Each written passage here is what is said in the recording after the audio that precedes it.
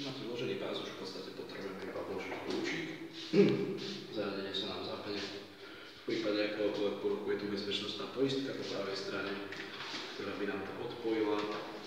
Po sa pohybujeme na kolies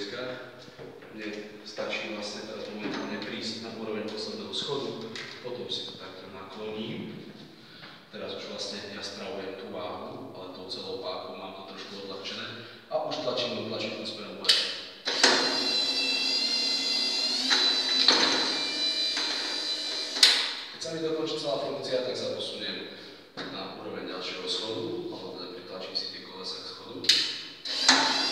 A opäť vytlačím ten liest. Po skončení funkcií spravím to isté a toto budem opakovať odtedy, kým nebudem hore.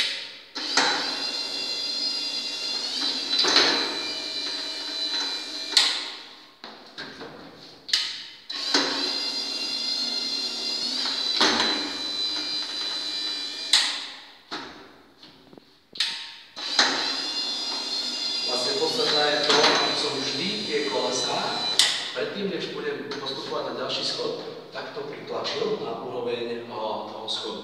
Potom si zase môžem vystišiť. Pani doktorka, ideme spraviť video až hore? Môžeme už ísť asi dole, však to už... Či už dole? Môžeme ísť dole. Dobre, tak eh, keď ideme dole, eh, tak sa vlastne práve naopak budeme tlačiť smerom na ten roh schodu.